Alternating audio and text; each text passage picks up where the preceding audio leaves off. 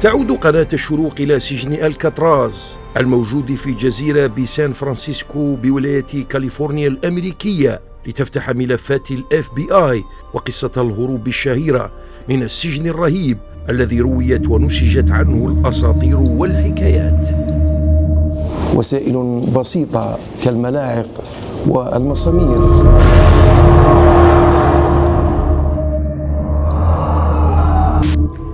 آل كابون في سجن الكاتراز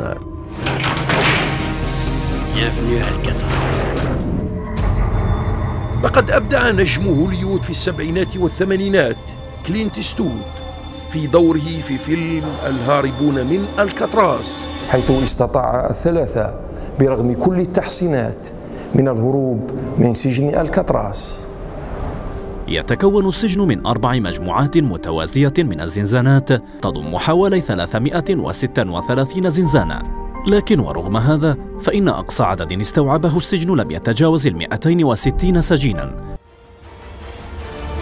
سنتابع محطاتنا على أرض جزيرة الصخرة وهذا السجن الرهيب برصد أهم مكونات السجن من الداخل.